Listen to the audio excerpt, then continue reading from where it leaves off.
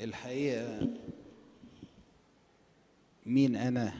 أنا أتكلم عن قداسة البابا شنودة الثالث. البابا العملاق. أنا عايز أقول في تاريخ كنيستنا من ماري مرقس لغاية النهاردة لم يعتلي كرسي ماري مرقس شخصية بشخصية البابا شنودة الثالث. جمع بين سناسس وبلكروس عم الدين وكل البطاركة اللي بنسمع عنهم البابا شنودة تفقن يعني أبصر لسه قريب جدا. كنا رايحين في صيامة كهنة في كنيسة المعادي. وكنا رايحين كنيسة اسمها كنيسة لما أنطونيوس في زهراء المعادي تشوفوه من على الطريق من بعيد. فكنت راكب مع نيافة الأنبا بخمس القام مقام. ولما شاف إحنا ماشيين في الجبل وكنايس في الحتت دي فبيقول من القرن الرابع الميلادي لو حصرنا كل أعمال الكنيسة والعمران اللي تم في الكنيسة من القرن الرابع الميلادي لغاية البابا شنودة هنلاقي إن المرحلة بتاعت البابا شنودة تفوقت في كل ده؟ كرازة في كل العالم في كل مكان. هقول إيه وأقول إيه على سيدنا البابا؟ لسان العطر ذهبي الفم. اللي تعاليمه أنارت العالم كله.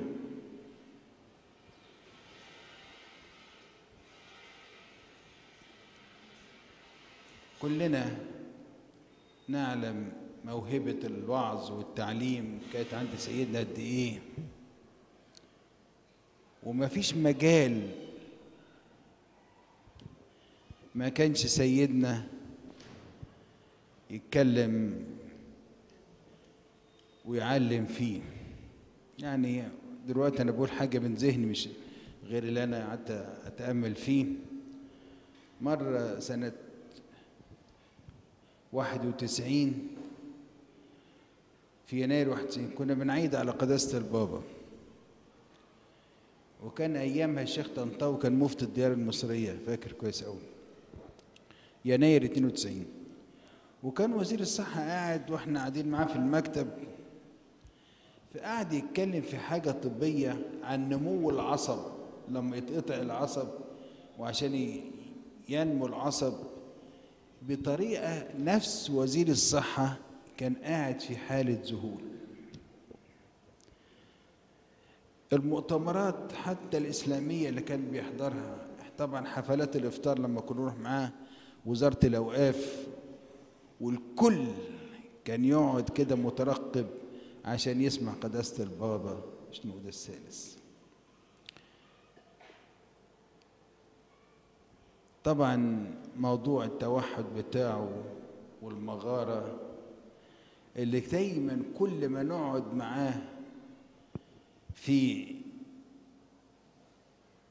احتفال بعيد الرهبنة أو بعيد جلوسه على كيرس مرقس كان كل حنانه وكل مشاعره كلها في المغارة وعيشة الوحد توحد والرهبنة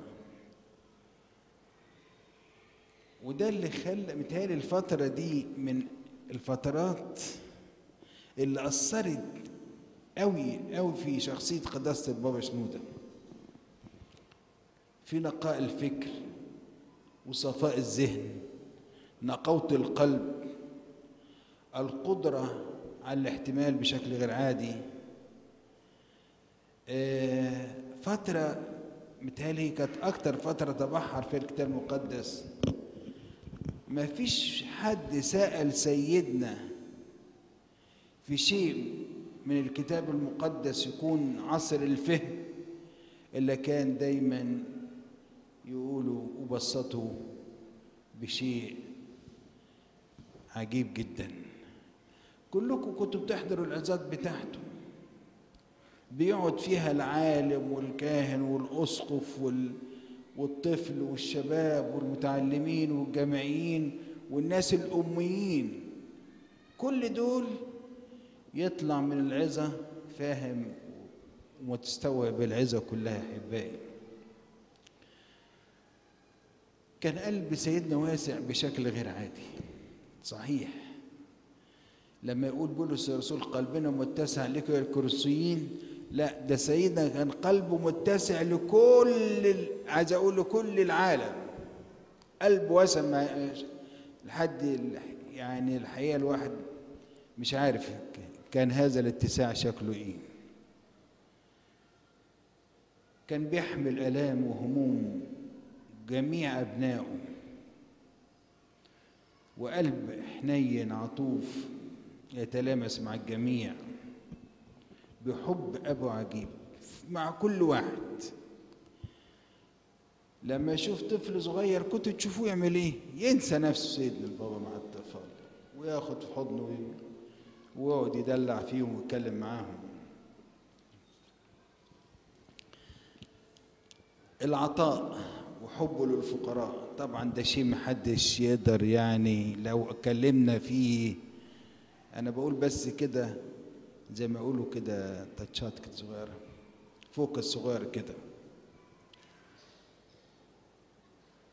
آه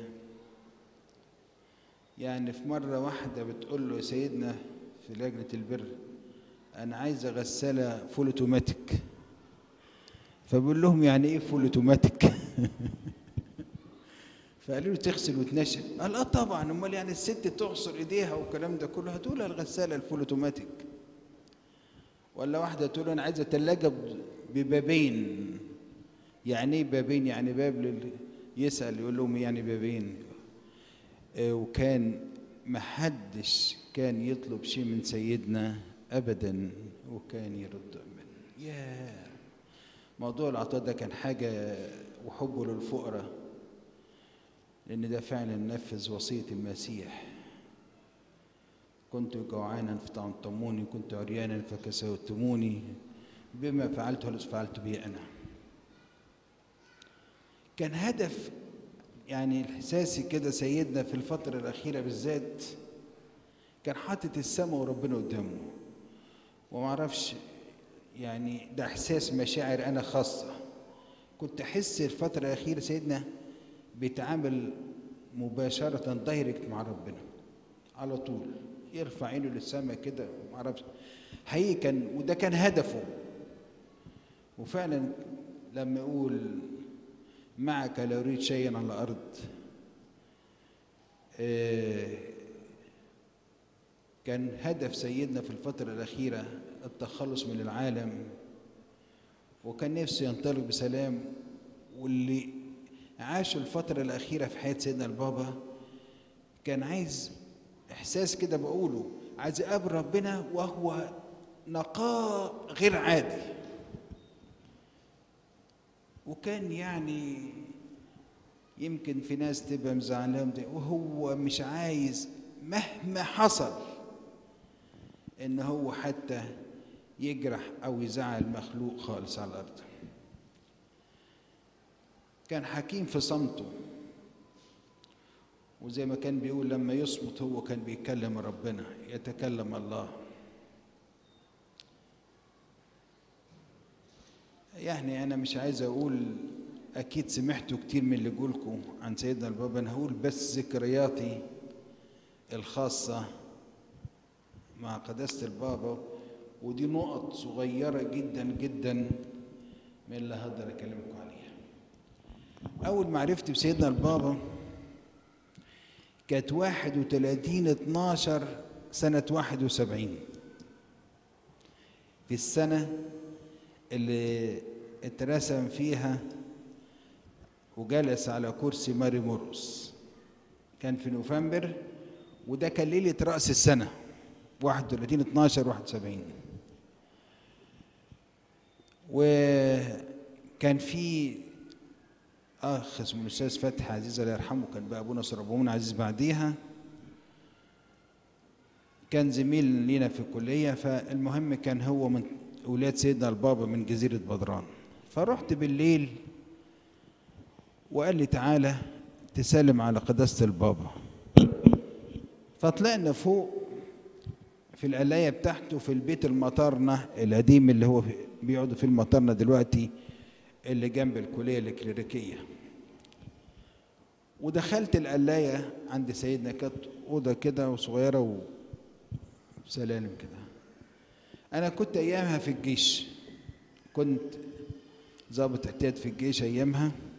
الكلام ده كان أنا دخلت الجيش 68 وكان 71 كان لسه نعرف. وكنت قاعد الجبهة في.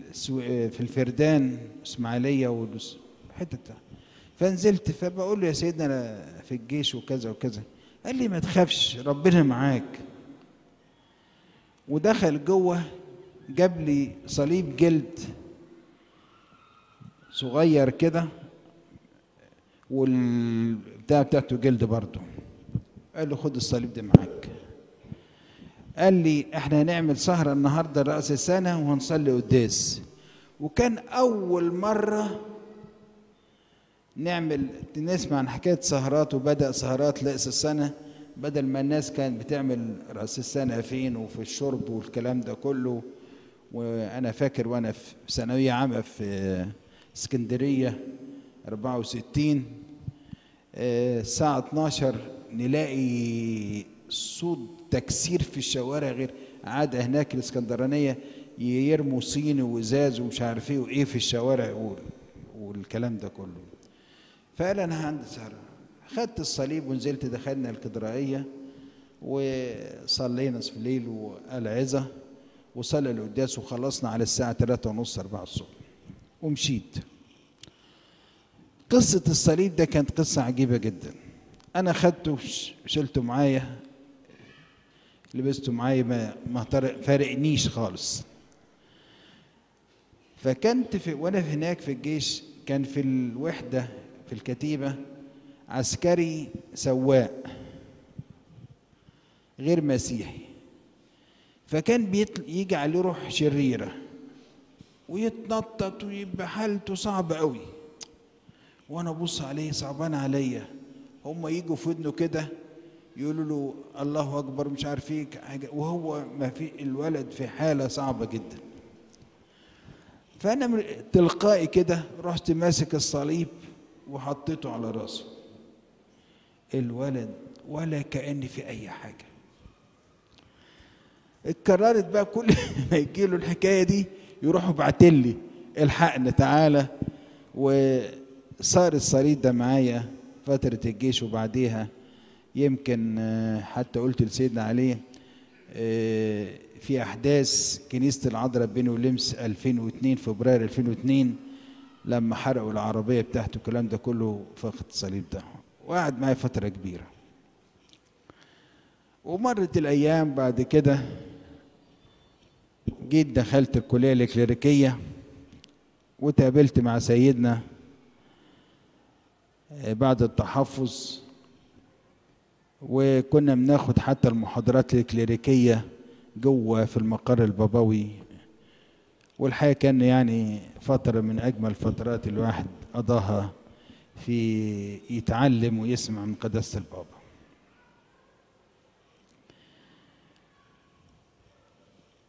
في خمسة أغسطس ستة وثمانين كان بعتوا قالوا في مقابلة مع قداسة البابا عشان رسامة كهنة. ولقيت حد بيقول لي ده انت اسمك من الناس الأسماء اللي راحت. قلت له مين قال كده؟ أنا ما كنتش أعرف. فقال اسأل أبونا حنا فسأل أبونا حنا اسكندر دخلت. إيه يا أبونا؟ بيقولوا كذا. قال لي آه إحنا بعتنا اسمك. قلت له طب من غير ما تقول لي. آه عشان ما تعتذرش. إحنا عملنا كده مراقب المهم. فروحنا وكان قاعدين في المدرج الكبير وكنا أربعة من الكنيسة مترشحين. كان أبونا إنجيلس رشدي اللي في عذر أرض الجولف وكان أبونا جرج الصبح اللي في نيويورك وكان الدكتور جمال جورج. بس هو مراته رفضت يعني. المهم قاعدين وتوزع الورق وسيدنا فرز الورق وحط ال... ال... كل واحد نصيبه وديه. فهو ما يعني إحنا قابلنا في 71 وبعدين ما فيش يعني ما كانش فترة الجيش قعدت لغاية 74 أو 75 فراح نادي سلوى بنت أبونا حنا اسكندر. قال لها فين فلان؟ الأستاذ نصحي فينه مين ده؟ فقالت له أنا سيدنا هشاور لك عليه. فسلوى جت ورايا في. البنش اللي بعدي وبقت تعمل له كده. مين كانت قاعدة على البنش اللي جنبه؟ المدام بتاعتي جنب ورايا. فاحنا طالعين بسلم بتسلم عليه. قالت له هو ده يا سيدنا. فكان بابتسامته اللطيفة يعني. آه بعديها الموضوع سكت كان تقريبا يوم الخميس يعني تواريخ أنا مش هنساها لأن كانت لها تسعة عشرة ستة وثمانين يوم الأربع بالليل أبونا إبراهيم عزيز معانا في الكنيسة كان حاضر اجتماع فأنا كنت يومها في جمعية لأبناء البطريركية لأولادي في المدرسة بتاعت مدرسة الفيل كنت عامل لهم جمعية. وكان تم الشهر بتاعه كان في اجتماع الجمعية العمومية عشان انتخاب رئيس مجلس إدارة والكلام ده كله مع أبونا جول الزريع وكمان. وأنا ما حضرتش الاجتماع يوم الأربعاء ده. فلقيت أبونا إبراهيم راجع من الاجتماع عند البيت بيقول لي سيدنا بكرة عايزكم الساعة 11 أنت وأبونا إنجيلوس قلت له ده في كذا وكان المهم يعني رحت صليت القداس وبعد كده رحت البنك. قصة طويلة مش عايز ادخل فيها لكن أنا أقول على لما وصلنا عند سيدنا الساعة 11 دخلنا 11 ونص كده قعد معانا تقريبا لغاية الساعة 3 بعد الظهر. ويدخل الانبا بسنتي كان لسه مرسوم جديد يقول له يا سيدنا في كذا يقول له معلش معلش كنت أنا كان أبونا حنا وابونا ابرام وضعفي وأبونا إنجيلس. وقعد يحكي معانا سيدنا يعني أيام ملك وأيام السادات وحكى بالتفاصيل التفاصيل كلها. ثلاث ساعات وأكتر وإحنا قاعدين مع سيدنا. وفي الآخر كده قال آه أنتوا جايين إيه؟ انبا بسنتي هو الرسامة إمتى؟ قالوا الجمعة الجاية يا سيدنا بعدها بأسبوع بالظبط كان 17 وكان طبعا الواحد ارتباطاته بالشغل كانت كتيرة لكن ربنا يعني اشتغل ب آه جه سيدنا بيقول لي يوم السيامة عايز اسمك إيه؟ قلت له يا سيدنا سرجيوس. قال لي وهتبقى شقي زي ابونا سرجيوس بتاع الأولى ليه؟ قلت له يا سيدنا ما فيش الكلام ده. وأنا فاكر يوم الرسامة بتاعتنا سيدنا وعظ ثلاث وعظات. اولا صلى القداس معانا. وعظ ثلاث وعظات. الوعظة الأولى كانت على قداس الإنجيل. اصنع لكم أصدقاء من مال الظلم كان نياحه الانبا بولا وبعد الرسامة ومش هقول لكم يعني يمكن ظهرت في الفيديو الصور سيدنا مجرد ما حط إيده وأن ندعوك يا سيرجيوس أنا اللحظة دي مش هنساها في حياتي. حسيت ان يمكن إيد عشرة كيلو اتحطت على رأسي. والدموع انهارت وهو أنا فاكر اللي فاكر بس لحظتها سيدنا يقول لي لا خلي بالك امسك نفسك. قلت له حاضر يا سيدنا وبعد الرسامة وعظ سيدنا. والآخر بعد ما لبسنا العمة السوداء برضو وعظ سيدنا يومها وتمتعنا متعة يعني فعلا شيء فوق الخيال يعني آه سيدنا البابا كان لماح قوي قوي قوي بشكل يعني يعني لا ده كان يقول يفهمها قبل ما تطير مش وهي طايرة قبل ما تطير. كان مرة حد من ولادنا قال لي يا أبونا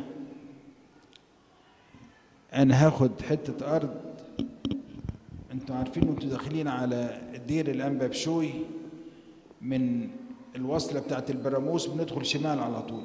في أرض على اليمين كده فيها نخل صغير. فقال لي يا أبونا ده حتة كويسة وعشان نبقى قريبين للدير ومش عايزين حد يدخل فيها غريب والكلام ده كله. أنا طبيعتي كنت يعني ما أحبش أعمل حاجة لما أقول لسيدنا. فكتبت لسيدنا جواب قلت له في كذا كذا كذا يا سيدنا. وسيدنا ما خلص ما كان مرة كان قدام المكتب وبسلم عليه ولقيته واقف.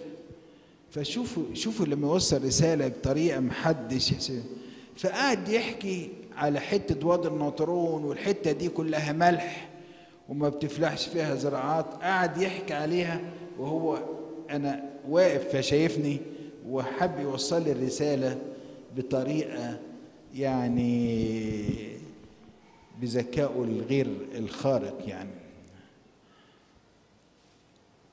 آه أنا عايز أقول سيدنا البابا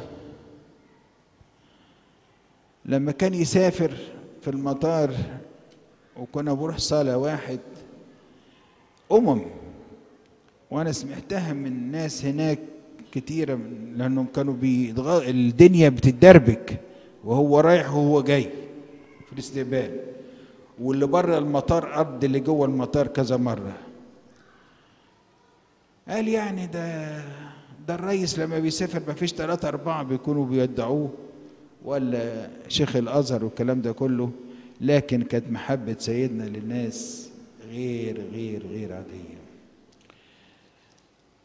أقول لكم يعني حاجتين حصلوا بره مش هقول هنا. في سنة سبعة وتسعين كان في فريق عندنا كورال اسمه أبناء الرسل. الولاد اللي هم ماتوا وهم راجعين من صمالوط فرحنا هناك حبوا يعملوا أوبريت عن رجل الله. وتحصل اتصالات بيننا وبين إنجلترا الكنيسة هناك والآباء والضب والكلام ده كله. وسافرنا است... يوم الحد وصلنا استفنش دخلنا هناك قعدنا من الحد للخميس كان في سبتمبر. طبعا في الفترة دي بتبقى إنجلترا كلها سحب وبتاع والدنيا قاعدين يتامى كده المجموعة بتاع الكنيسة الشباب والشابات وأبونا إنجيلوس كان لسه أبونا إنجيلوس الانبا إنجيلوس دلوقتي وهدوء وسكوت غير عادي. ويوم الخميس جه سيدنا البابا كان مسافر في أمريكا فبيعمل ترانزيت يومين في في إنجلترا. لا تتخيلوا يوم الخميس لو كان حد جدع يقدر يلاقي مكان موضع قدم في ستيفنج اللي كانت قبليها الدنيا بشكل غير عادي. آه وكان يوم حتى كانت تتوفى الديانة. في اليوم ده كانت اللي إحنا عرضنا فيه ساعتها. نفس الحكاية كنا رحنا في 98 كنا برضه هيعملوا الأولاد عن تاريخ الكنيسة القبطية وعملناه في فرنسا وإنجلترا. وكان اليوم اللي حاجزينه في المسرح البولندي اللي هيعرضوا فيه كان سيدنا واصل إنجلترا. فكانوا الأباء قالوا طب دلوقتي هنعمل إيه؟ هل هنبقى نروح نحضر ال- الأوبريت ولا طبعا سيدنا البابا. فالمهم يعني قعدنا نصلي يومها وقدرنا إن المسرح يأجل لنا العرض يوم وحتى ما خدوش فيه أي فلوس واعتبروا اليوم ده قال لو حبيتوا تيجوا تعملوا فيه حتى بروفا والكلام ده كله. وأنا رحت ستيفنش كان سيدنا عامل اجتماع للشعب هناك. فكتبت ورقة يا سيدنا عشان ينبه الناس إن مفيش اتأجل العرض يوم. وقلت له عشان انشغال الآباء. فراح سيدنا محبته يقول جاءنا من قوة أبونا سرجيوس كذا إن الميعاد العرض بتاع تاريخ الكنيسة القبطية في المسرح كذا كذا. اتأجل يوم سلام يا أبي حللني يا أبي بسبب انشغال الآباء. قال ده كله بسببي أنا. ده كله بسببي أنا. من ضمن الحاجات يعني اللي فاكر في 2002 كان في ابريل 2002 كان انبا بغاصن أسقف مغاغه قبل ما يعني كده تقريبا في مارس ولا أبريل مارس تقريبا فبيقول لي إزاي بيشتكي إن الأباء كان في زمان الأباء بياخدوا دفاتر خطوبات وزواج في مناطق خارج القاهرة الجيزة وشبر الخيمة. ومغاغة. فأنبا غصن قال ده أنا عندي أربعة كهنة واخدين دفاتر. الحقيقة كان وده عرفته بعدين من سيدنا. فأنا قلت لسيدنا كان كل الدفاتر ال- الجديدة منعنا أن يخرج خارج القاهرة. لكن القديمة كانت نائب أبونا مرقص غالي وأبونا داود تدرس فما كنتش أقدر أعمل فيها حاجة. فجاء أنبا غاسن قابل سيدنا البابا في عيد شم نسيم وأنا كنت مسافر أمريكا ساعتها ورجعت. فقابله في شم نسيم ورجع أنبا غاسن بيقول لي أنا قابلت سيدنا البابا وقال محدش ياخد حتى قصاصة ورق. أنا طبعا سمعت قلت له حاضر هذا سيد. كتبت لسيدنا جواب حصل كذا كذا يا سيدنا والجديد ما بنديش منها والقديم من ابو نور غالي وانبا غاصن قال لي كذا كذا. كان سيدنا حبيبي يطلع قدام المجلس الكليريكي كان زمان يركن كده ويسلم على الناس كلها.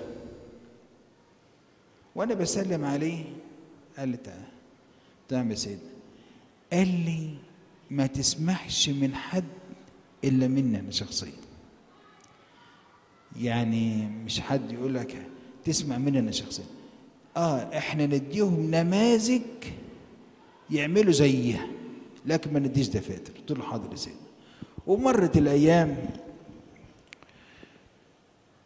وكان يعني الحقيقة سيدنا البابا في ما شفتش في حياتي فعلا يبقى في عز تعب وألمه ويسمع عن حد تعبان أو مريض وما يزورهوش. حتى في الأيام الأخيرة لما يسمع في حد في مستشفى هنا ولا في المركز الحياة ولا, ولا وفي عز تعبه كان يروح يزوره.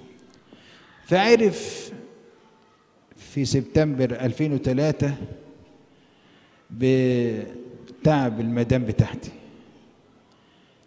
فقلت كان يوم تلات واتصل بيا انبا يونس بيقول لي سيدنا البابا جاي يزور المدام النهارده. كنا في مستشفى سان بيتر الصغيرة. حتة ضيقة وزنقة هناك. وجه سيدنا وطلع من أوضة الرعايه على فوق. كانت زحمة غير عادية. يعني ودخل قعد صلى لها فترة كبيرة. وهي كانت في غيبوبة. فمشي سيدنا وصلى بعد الناس موجودين. فالأولاد أولادي مايكل وماركو قال يا سيدنا نفسنا يا أبونا نفسنا نتصور مع سيدنا وماما. ما كانش لها سيد. فميلت على أبونا أرمية ساعتها. قلت له قال لي منك لسيدنا. كان طلع على الباب. يعني داخل على صنصير فبقول له يا سيدنا الأولاد عايزين كذا كذا كذا. قال لي حاضر. ورجع من على الباب بره لغاية ما دخلنا جوه واقف واتصور معاه. شفتوا إنسانية وبهذه الشخصية؟ آه لما توفت المدام فاتصلت باسكندريه كان هو يومها كان يوم السبت وهو كان في اسكندرية في الأسبوع ده. كان يسافر الجمعة الظهر ويرجع لحد بالليل. فكلمني. ربنا معاك والباقي في حياتك. و... وأنا كنت يعني متأثر قوي قوي قوي فسألت نعمل الجنازة الساعة كام؟ قال خليها بكرة الحد والساعة 3 الشيء العجيب يا احبائي ومؤثر في نفسي لغاية هذه اللحظة. سيدنا كان معاه أنبا يونس ومرمية هما الاثنين واحدين سكرتارية في الوقت ده. يبعت الاثنين من اسكندرية يحضروا الجنازة وهو يقعد وحده ويرجع وحده من اسكندرية. شفتوا أبوة بهذه الصورة. وبعت الاثنين مش مثلا يبعت واحد ويخلي التاني معاه.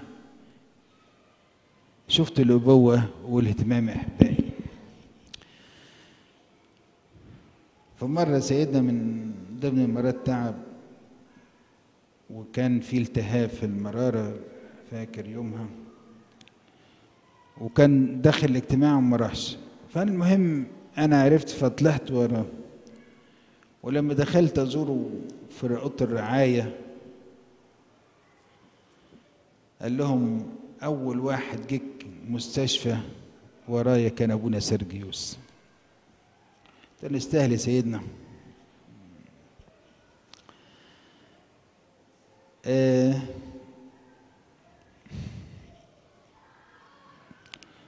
بعد ما طلع سيدنا القرار بتعيين وكيل عام بطريقية الرسمي فقلت له يا سيدنا أنا عايز أروح معاك الدير وأقعد خلوة ده قريب لميعاد رسامتي قال لي تعالى كان يوم جمعة. وصلنا هناك يوم الجمعة. وطبيعي هو تلاقي فيه بقى في فاكهة وحاجات كتيرة بتبقى موجودة قعد يوزع على الكل. وأنا باخد منه فبيقول لي خلي بالك أنا جبت لك كل حاجة معايا و وقفتك معايا دي دلوقتي في خطر. في خطر. يعني كان حد واقف ورانا كده بشويه قلت له يا سيدي أنا عايز أقعد معاك. قال لي حاضر. هقعد معاك وكل حاجة هتعمل المهم الكلام ده يوم الجمعة بعد الظهر. الجمعة بالليل مفيش أنا طبيعتي السبت الصبح صليت قداس مع أنبا بطرس وأنبرمية من سبعة لتسعة. وفي خلوتي وأروح السريان أقعد مع باقي هناك. وحتى ما قربش ناحية القلاية بتاعت سيدنا خالص. وفات السبت الصبح والسبت بالليل وسيدنا ما بعتليش. خلاص هقول إيه؟ سكت. لحد الساعة ستة الصبح لقيت أبونا بولس بعت لي بيقول لي سيدنا البابا عايزك. ستة الصبح. فنزلت. أنا كنت بجهز نفسي. طالع على القداس. نصلي القداس. قال لي تعالى هات الكرسي وتعالى جنبي هنا. جبت الكرسي وقعدت جنبه. طبعا هي حتة ستة الصبح دي لها حكمة وليها حاجة عرفتها بعدين ساعتها. يعني في لحظة معينة أبونا بطرس فهم كويس الحكاية دي. كان حد نام والتاني صح يعني فقال لي عايز إيه؟ قلت له يا سيدنا يعني تديني كلمة منفعة وإرشاد. قال لي هو دي حاجة جديدة عليك؟ صدقوني كده. مش شيء متمرس عليه من فترة كبيرة. قلت له ولو يا سيدنا قال لي لا. فشوف حكمة سيدنا يعني مش هقول تقريبا بعد وفاة أبونا داود تدرس لغاية ما طلع رسمي وكان حاطط ضعفي تحت الاختبار وأنا مش مش عارف حاجة ومش فاهم حاجة. وعرفت بعدين حتى قريب إن لما وضب المكتب اللي تحت اللي أنا فيه دلوقتي ما رفعوه فوق. فبس الأستاذ ممدوح قال لي هو كان حد فينا كان يقدر يعمل حاجة إلا لما سيدنا يقول وأنا ما كنتش أعرف. الكلام ده قبل ما يطلع القرار وكيل عم بطريقية. وكنت قلت له قال لي اقعد فوق في الأيام اللي بتيجي فيها وفي المكان ده. فقعدت معاه و يعني خدت كلام منفعة وقال لي كل حاجة أنت عايزها موجودة وحتى أنا فوجئت يعني تاني يوم على طول بعت لي مكنة التصوير الكبيرة دي. ويعني الحقيقة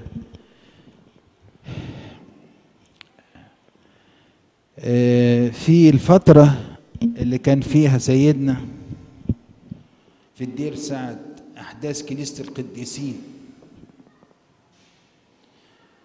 وكنت أنزل وأرجع ونقعد معاه بالليل ونروح بعديها بالليل. ف كان بيقول سيدنا محدش يقول أي حاجة خالص ولا يد أي لصحافة ولا جرايد. فبيسألوني وفي بساطة قلت لهم أصل سيدنا البابا قال ما تقولوش حاجة. وامسك عليا سيدنا. يعني كانت أيام آه في الفترة في عيد الأربعين بتاع سيدنا البابا. أنا طولت عليكم معلش خلاص. في عيد الأربعين ال... في احتفاله بعيد الأربعين لجلوسه على كرسي ماري مورس كان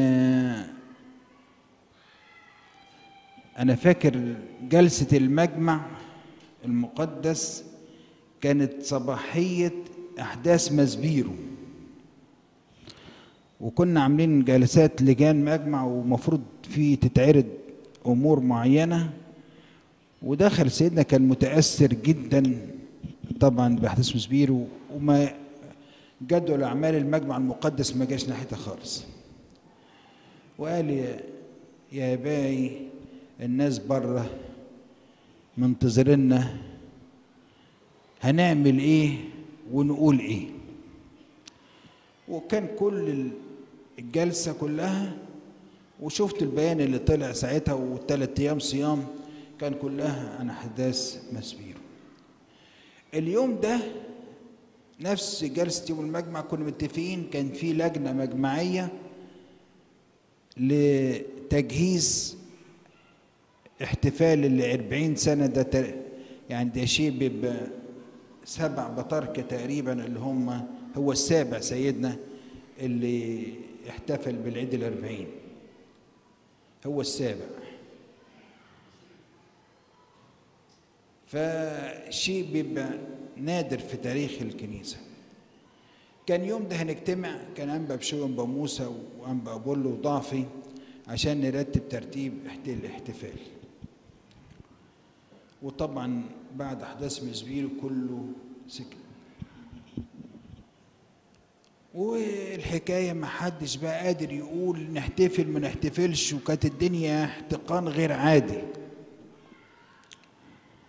وما أعرفش سيدنا بس لقى جورنال مكتوب إن ما فيش احتفالات بالعيد الأربعين. كانت البطاركة باعتين كلهم انهم جايين ومرتبين من فترة. فالمهم سيدنا قال ليه ما نعملش احتفال للعيد الأربعين؟ والكلام ده قبل الاحتفال بعشر أيام زبطة وقل وكنا في حاجة يعني من ضمن الحاجات مثلا كان الأسبوع ده اللي نجهز فيه كان أجازات عيد الضحية والم... حتى كل المكاتب قافلة والمطبعة والكلام. يعني المهم قعدنا ربنا يرتب وقدرنا نطبع الدعاوي والكلام ده كله. و يوم الجمعة هي العيد كان يوم الاثنين. يوم الجمعة في حد اتصل بيا وطلب دعوة. ليه؟ وأنا كنت فاكر يعني كان الموضوع ده كان فيه تحفظ على هذا الشخص يعني لأمور معينة يعني.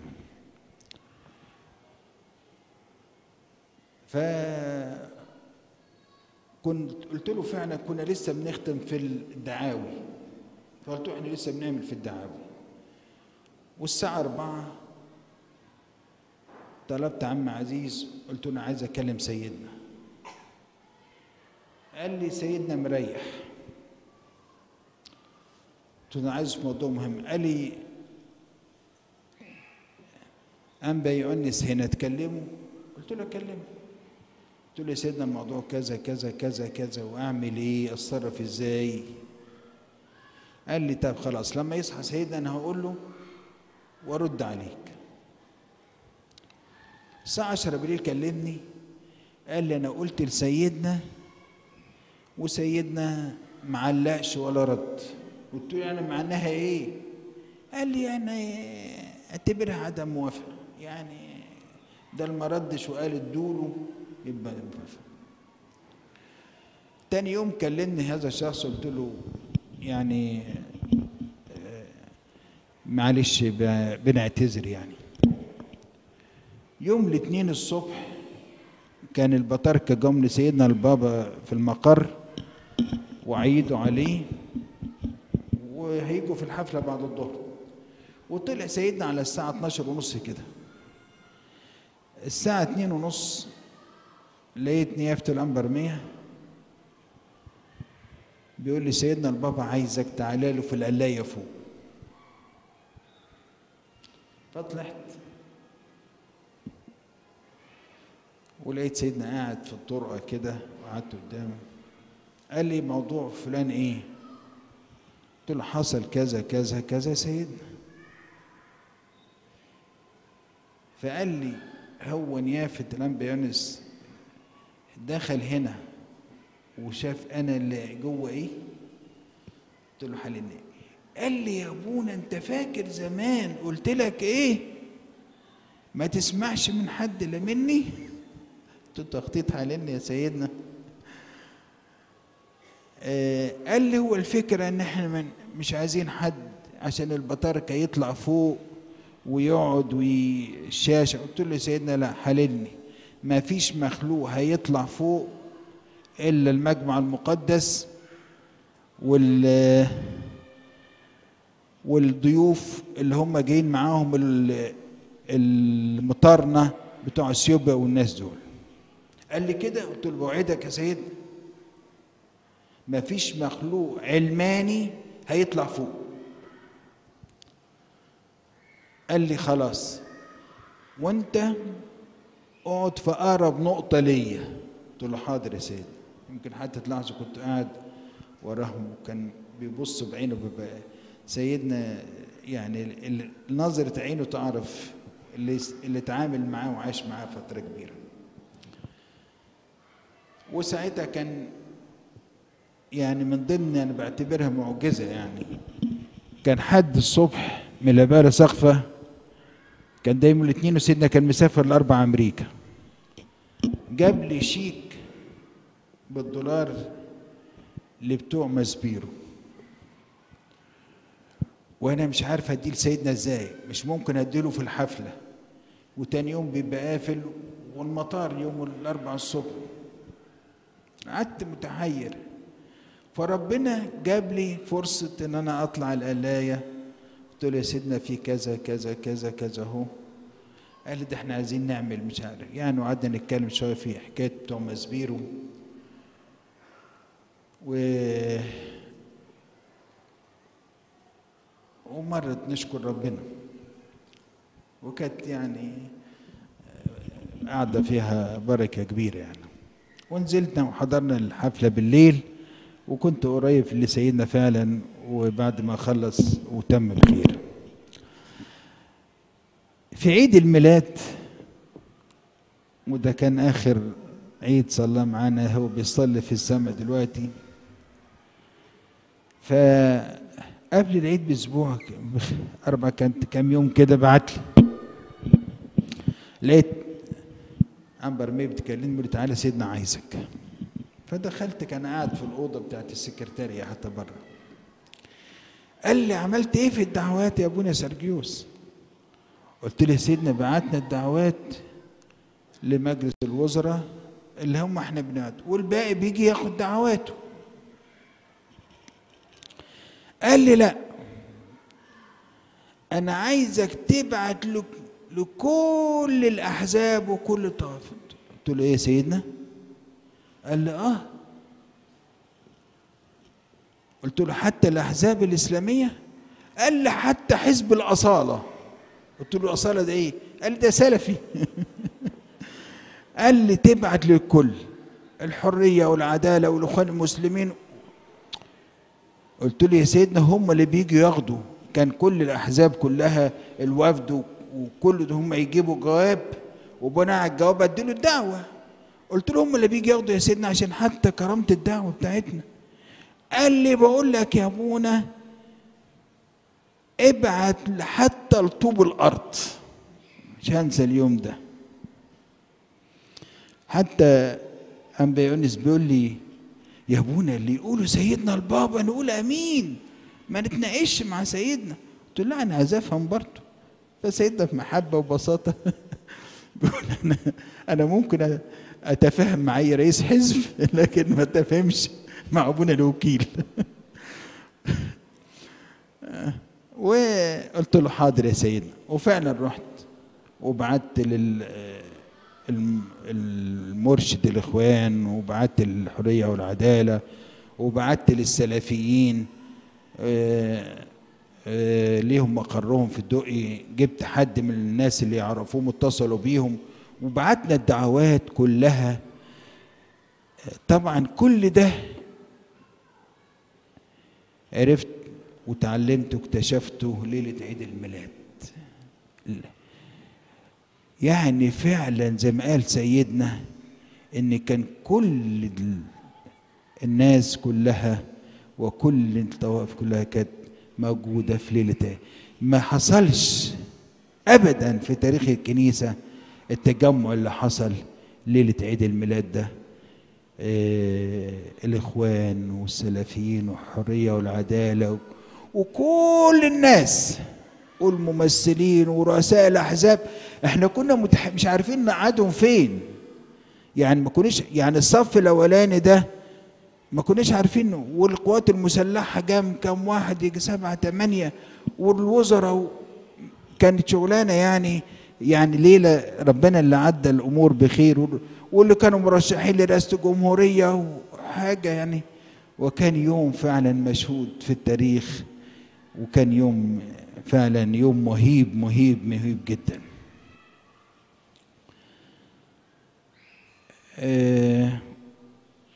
مرة كان راجع سيدنا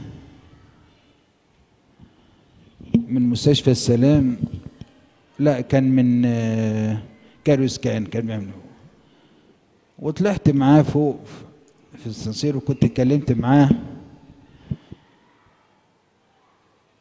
على موضوع مثمير وبقول له الناس اللي كانوا في السجن طلعوا يا سيدنا اللي هم كانوا قابضين عليهم 28 واحد. وقام وأنا اعطيت له كل واحد منهم مبلغ كذا. فحس ان المبلغ كان حوالي 400 جنيه لكل واحد. قال لي طب وليه جاي قوي كده؟ أنا ما عطيتهمش 300 ليه يا ابونا سرجيوس كان نفسي إن أنا قد أكتر يعني. وحتى بقول له يا سيدنا أنا النهارده ناولت لوحدي في في قداس الأنبا ابرام قال لي حاضر حاضر حاضر عشان سيمان وانبا ارميا بيقول أنا عايز خمس زي سيدنا لوحدي. فقالوا بس هدخل الحمام. فأنا استأذنت قلت له يا سيدنا أنا نازل عشان المك قال اتفضل. وجه سيدنا كان طلب يعني أعضاء المجمع المقدس يسلموا عليه كان يوم اثنين وطلعت وكان قعدتي في وش سيدنا وهو نايم كده أنا ما كنتش قادر أبص. وهو كان يبص لي. فالمهم قلت له يا سيدنا؟ صلي لنا. قعد يقول ربنا معاك وأخدت كم دعوة من دعواته الحلوة اللي ربنا تكون معانا لغاية ما نوصل ونقابله إن كان لينا نصيب. وطبعا لما عرفت ب كنت خارج وحد كلمني حوالي الساعة ستة إلا ربع كده ولا خمسة ونص بيقول لي سمعت حاجة في الكدرائية؟ قلت له لا يا حبيبي. قال لي يا أبونا سامعين في حاجة. فرحت لافف اللي كان معايا قلت له نطلع لهناك. طبعا وصلت ولقيت سيدنا أنا خدته في حضني وقعدت أبوس فيه. وكان يعني عجيب بعديها. أنا عايز لكم حاجة حلوة. معجزة حصلت الأيام دي مع حد من أولادي بيعترف عنده هو إنسان بسيط قوي من حتة اسمها كفر عبده تبع السنبلوين حاجة زي كده في الشرقية. الولد ده إنسان بسيط وأعرفه من أيام ما كان في الجيش زمان قوي هو دلوقتي جوز بنتين من بناته وعنده عربية نص نقل بيشتغل عليها وعنده حتة أرض في البلد بيزرعها وإنسان بس من الجماعة المسيحيين الحلوين ولد يحب ربنا ويخاف ربنا قوي وجديد في نفس الوقت. فكلمني بعد عيد القيامة الأربع اللي بعد عيد القيامة يقول لي يا أبونا أنا مش قادر أخرج من البيت ليه يا ابني؟ ليه؟ لأن أنت جدع وراجل قال لي حصل الآتي يوم أربع البصخة حد جاله وقال له في شغل نجيب نقلة شغل يعني من جمصة فقلت له ما أنا ما عنديش حاجة. كان بعد الظهر الدنيا ليل يعني بالليل كده. فقال طلعت معاه والإنسان ده غير مسيحي وقعد جنبه في الكابينة وهو بيسوق. قال إحنا كنا طالعين على الطريق الدولي فالظهر ضلينا وإحنا ماشيين طلع عليه اتنين وقفوهم بالسلاح. معاهم سلاح آلي. اوقف اوقف اوقف العربية. هو جامد. قال لك بس طلعت واحد واخدني من على الكرسي وراح منيمني في الأرض وحاطط رجله على رقبتي والبندقية معاه. عايزين ياخدوا العربية يعني منه. ولسه التاني بيتكلم الراجل ينزله أنا بقيت أصرخ أقول يا أنبا شنودة أنبا شنودة. قال لقيت بصيت لقيت الانبا شنودة قاعد على دركسين العربية.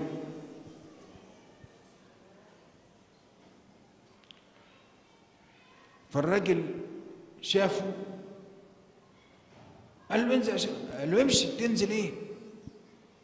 لما شافوه خافوا وخدوا في أسنانهم وجريوا.